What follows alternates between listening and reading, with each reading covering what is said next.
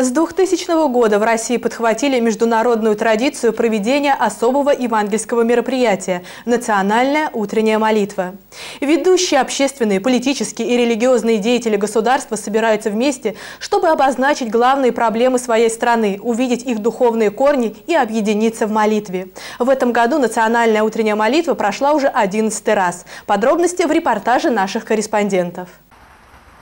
Вот уже 11 раз в Москве в здании президент отеля во второй вторник первого весеннего месяца для совместной молитвы за Россию и обсуждения насущных духовных проблем собрались члены Совета Федерации, Государственной Думы, Общественной палаты России, известные бизнесмены, ученые и журналисты, представители мусульманского и иудейского духовенства, а также руководители христианских, католических и протестантских церквей России. На российский молитвенный завтрак посчитали своим долгом приехать послы Канады, Боснии и Герцеговины, Ирландии, Албании, Таиланда, Сербии, ЮАР, а также дипломаты из Финляндии, США, Палестины и Нигерии. Темой 11-го национального молитвенного завтрака стало утверждение «Россия – многонациональная и многоконфессиональная страна».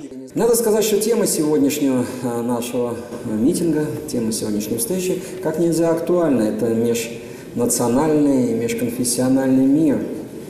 Казалось бы, еще совсем недавно мы думали о том, что не пойдет такая беда, как национальная рознь на нашу территорию, что не будем мы печалиться по поводу того, что находятся неумные, но очень горячие люди, которые пытаются, так сказать, разделить нас по национальным и конфессиональным квартирам. Можно запланировать мероприятие, можно выделить денег, можно усилить пропагандистские какие-то акции.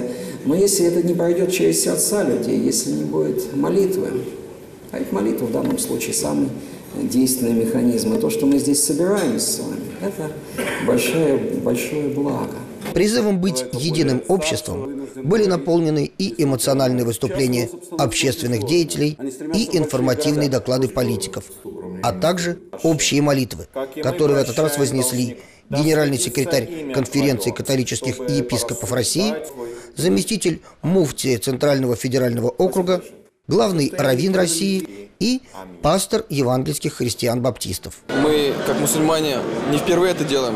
Мы в каждых наших молитвах, после каждой нашей э, пятикратной молитвы, мы делаем молитву не только для себя, не только для своих близких, но и для страны, для лидеров нашей страны и, соответственно, для всего мира. В отличие от десяти предыдущих молитвенных завтраков, художественная часть была представлена всего одним исполнителем – Викторией Беловой – и, конечно, сам формат мероприятия был совсем новый. Но устроители молитвенного завтрака убедительно обосновали выбор нового формата, а также подчеркнули, что данная форма не окончательная, и они открыты для творчества. Когда мы более детально стали изучать Библию, мы заметили, что Иисус Христос произносил свои речи и проповеди, сидя за столом.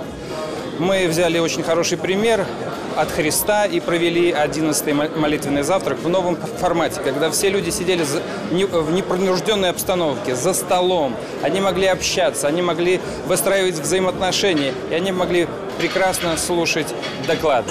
Поэтому я считаю, что это, это, эта новая форма даст новый импульс в развитии э, не только молитвенного завтрака в Москве, но и по всей России. Мы э, рады тому, что э, эта форма приятна для большинства наших гостей, и мы надеемся, что она приживется. Но мы понимаем, что жизнь – это движение, поэтому э, не будьте э, к нам очень суровы, если мы придумаем что-то еще. Евгений Хархардин, Сергей Сергеев, студия «Протестант» специально для телеслужбы «Благих новостей».